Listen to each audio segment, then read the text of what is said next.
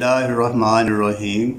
Dear student अस्सलाम वालेकुम आज की वीडियो में मैथ डी वन को हम सॉल्व करेंगे और मैथ डी वन का हम चैप्टर नाइन और उसकी एक्सरसाइज नाइन एट करने लगे और चैप्टर नाइन की एक्सरसाइज नाइन ए का question number one part A अब टॉपिक हमारा इसमें है volume of cuboid and surface area of cuboid जैसा कि आप अभी पिछली वीडियो में सीख चुके हैं वॉल्यूम ऑफ़ क्यूबॉइड का फार्मूला और सरफेस एरिया ऑफ़ क्यूबाइड का फार्मूला तो उम्मीद है आप उसको याद रखेंगे। और जब भी हम क्वेश्चन इसको सॉल्व करने के लिए वीडियो बनाते हैं तो आप भी साथ साथ फार्मूला को माइंड में रिवाइज करते रहें। अब हम इस फिगर को देखते हैं और फिर ऑब्जर्वेशन लेते हैं कि इसमें हमें क्या वैल्यू दी हुई है। स्टूडेंट ये जो आपको फिगर नज़र आ रही है इस वीडियो में, इस फिगर ये क्वेश्चन नंबर वन का ए पार्ट है। और इस फिगर में आप देखें, इसमें लेंथ जो हमें नज़र आ रही है वो एट सेंटीमीटर है। लेंथ क्या नज़र आ रही है? Eight centimetre. और इसमें वेथ कितनी नज़र आ रही है? Six centimetre.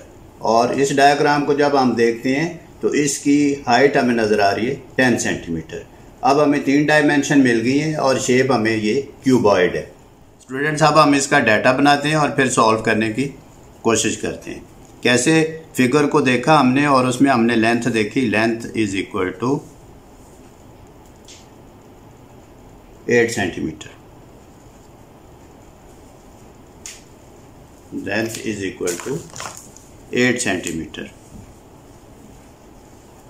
और width is equal to six centimetre और हाइट इसमें जो गिवन है टेन सेंटीमीटर अब वॉल्यूम का फार्मूला लिखते हैं। वॉल्यूम का क्या फार्मूला है?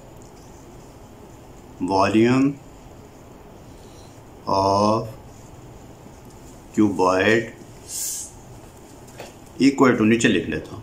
लेंथ वेथ हाइट अब इस डाटा में हमें लेंथ कितनी नज़र आ रही है?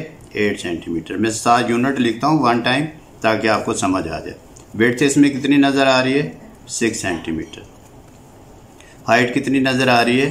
Ten centimetre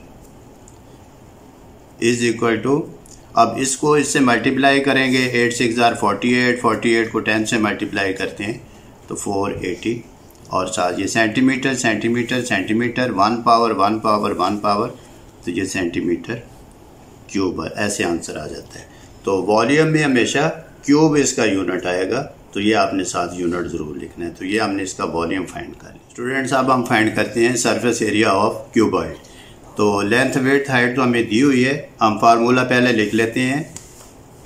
Surface area of cuboid is equal to two into length multiplied width plus length multiplied height plus width multiply height अब हम इसको सॉल्व करते हैं। तो surface area of cuboid two length हमारे पास कितनी है? एट वेट कितनी है? सिक्स प्लस फिर लेंथ कितनी है? एट हाइट कितनी है? टेन फिर प्लस वेट कितनी है? सिक्स हाइट कितनी है? टेन अब मैं इसको सॉल्व करता हूँ। टू इंटू एट सिक्स ज़ार फोर्टी एट एट टेन ज़ार एट्टी सिक्स टेन ज़ार सिक्सटी अब इन तीन वैल्यू को प्लस कर लेते हैं। टू इंटू जब हमने इसको प्लस किया तो इसका आंसर आ जाएगा वन एटी एट फिर टू से मल्टीप्लाई किया टू सिक्स टू एट ज़ार सिक्सटीन टू एट ज़ार sixteen one seventeen two one ज़ार टू और वन थ्री तो साथ यूनिट क्या आ जाएगा? सेंटीमीटर स्केल ये हमारा आंसर आ गया.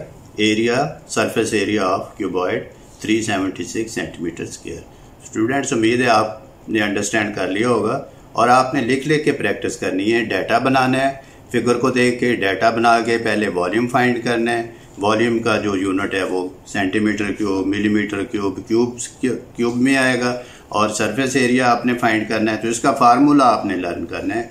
Two into length width length height width height अब सम टाइम स्टूडेंट्स ये देखते हैं कि ये जो लेंथ हाइट मैंने लिखा है, तरतीब से लिखा है, जो मैंने आज तक अपने माइंड में ये फार्मूला रखा हुआ है कि लेंथ को वेट से लेंथ को हाइट से। लेकिन कुछ जगहों पे कुछ स्टूडेंट ऐसे भी लर्न करते हैं लेंथ वेट फिर वेट हाइट फिर लेंथ हाइट तो ये आप ऐसे भी याद कर सकते हैं। तो ये इससे कंफ्यूज ना हो कि आप ये वेट हाइट को मैंने एंड पे लिखा है, इसको दरमियान में भी लिख सकते हैं आप। इसको पहले भी लिख सकते हैं। तो इट मीन पता ये चलना चाहिए कि ये आपकी वैल्यू सारी आनी चाहिए। तो इनशाला you will be able to do this next video के साथ इनशाला फिर मिलेंगे। अल्लाह हाफिज़।